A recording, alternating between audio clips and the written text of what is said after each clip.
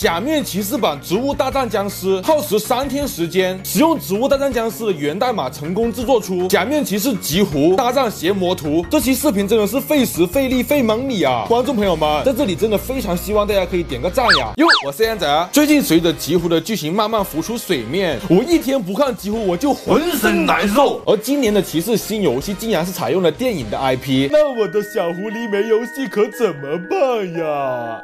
我自己做呗。有一说一啊，我最近一直在玩《植物大战僵尸》，不怕大家笑话，这游戏我也是最近才通的关。这么经典的游戏，我竟然没有早点通关，我真的是该打。那么这次我打算用假面骑士极狐挑战《植物大战僵尸》的内核啊，比人比人啊，刚好会一点 Scratch，然后又刚好 B 站有一位大佬用 Scratch 极致还原了一个《植物大战僵尸》，大佬人很好啊，甚至愿意把源代码分享出来，所以在这里也是非常感谢大风和啤酒分享出来的源码。紧接着就是把整理好。好的需求发给画家，这样就差不多完成前期准备了。为了照顾没有玩过《植物大战僵尸》的观众们，所以这里我会采用零门槛的介绍方式啊。所以《植物大战僵尸》大佬就谅解一下吧。回到游戏里头，那么目前只有这两种僵尸与十位骑士，而其中甚至有一半的形态都是以极狐作为本体的。谁让每个玩具都给他玩过嘛？不过因为这一次的测试版还只是试试水啊，所以观众朋友们如果喜欢的话，记得把喜欢打在公屏上哦。点赞要是能过五千的话，我争取在极狐完结之前把这款游戏给做出来，好吧？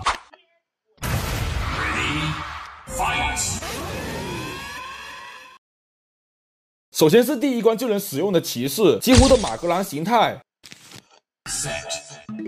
放置地上就可以向前方的僵尸进行射击了。第一关基本上没啥难度啊，只要记得收集从天而降的任务盒就好了。一个任务盒可以获得二十五点能量，虽然看起来很少，但是完全够用。因为打过第一关就已经可以获得泰尼的忍者代扣了。这个角色就对应原版的向日葵，是在白天必带的一个角色啊。放着不动就能每二十四秒获得一个任务盒，可以说是任务盒生产商了，好吧？这不还原，从第三关开始就是可以使用全人物的了。我也是精心挑选了十个角色，基本上是完。完全够玩的。首先介绍一下这张卡，马格兰加推进器。那么这一张卡的原型其实就是寒冰射手，命中僵尸就会使其减速。你们应该也能猜到了，是的，只要是豌豆射手系列的，基本上都给我换成极狐了。而这个双马格兰的原型其实就是双发射手，和它的名字一样啊，每次攻击将会连续射出两发子弹，然后就是摇摇机的双推进器。不同于其他极狐的形态，这并不是一个持续性的射击人物啊，而是只要你放置在地上，它就会把前后路上的僵尸全部烧毁。要。知道普通一颗子弹伤害只有二十，而双推进器的伤害达到了惊人的两千，整整一百倍啊！最后的几乎本体的形态呢，就是双指指令了。那么这个形态是根据三线射手来进行修改的，但和原版三线射手不同的是，这个形态只能打到两条线上的僵尸，分别是自己本身面对的中路以及上路。因为相比于原版肯定是削减了不少的，所以每颗子弹。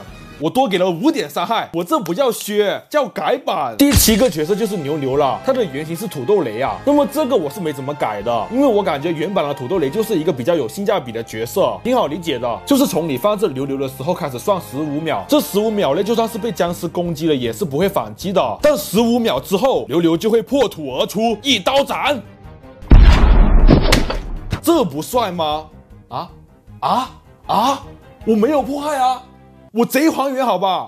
第八个角色就是以倭瓜为原型的怪物代扣，因为我个人感觉怪物代扣在剧里是属于一个比较重型的形态啊，所以我就给他套了一个倭瓜，很简单的角色。放置怪物代扣之后，只要角色前后出现僵尸，就会直接给我砸。剩下的两个就是节拍代扣和盾牌代扣了。节拍代扣就是放置之后在周围形成一个大爆炸，而盾牌代扣，盾牌呢？你盾牌呢，熊猫兄弟们别急啊，因为这个版本还是稍微有点赶鸭子上架的，所以盾。盾牌嘛，并没有画出来，但是大家可以靠想象力的吗？不过我得说实话，我做游戏还是很有逻辑的，好吧？不是乱改的。为什么要用猫熊来当坚果？哎，这我可得跟你好好说道说道，因为它就是被僵尸感染淘汰的。我是恶魔吗？你们真别说，我还特地给他加了个血条，真不是因为我懒啊。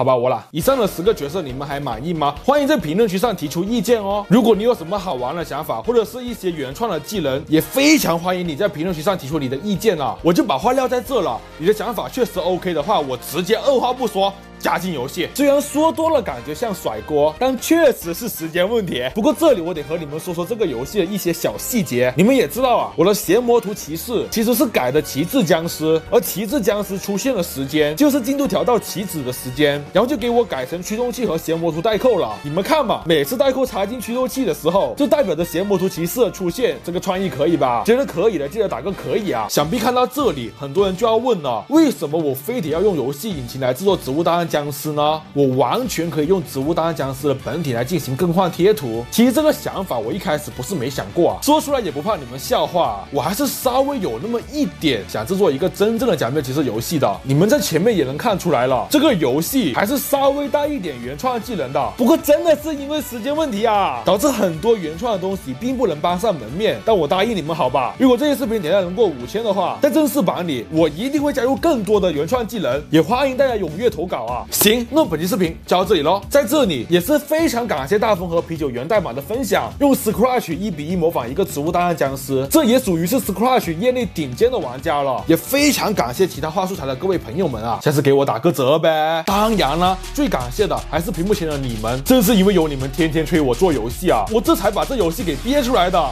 但是好东西都是逼出来的，所以在这里呢，也是非常感谢各位朋友们的催更了。